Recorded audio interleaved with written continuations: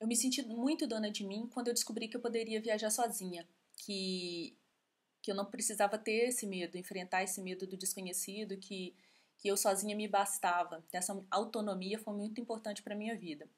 É, a segunda vez que eu me senti muito dona de mim foi quando eu fui aprovada no meu exame de, de moto, para tirar habilitação de moto, é, num ambiente extremamente, predominantemente masculino, onde nem 10% das pessoas que ali estão são mulheres. E eu não só passei, como eu zerei a pista, fiz um exame sem infrações. Aquele dia eu me senti muito forte, me senti muito, muito capaz. E um terceiro momento onde me senti muito dona de mim foi a primeira vez que eu consegui reagir a um assédio na rua. Eu mandei um dedo para um velho muito nojento que ficou falando asneiras no meu ouvido.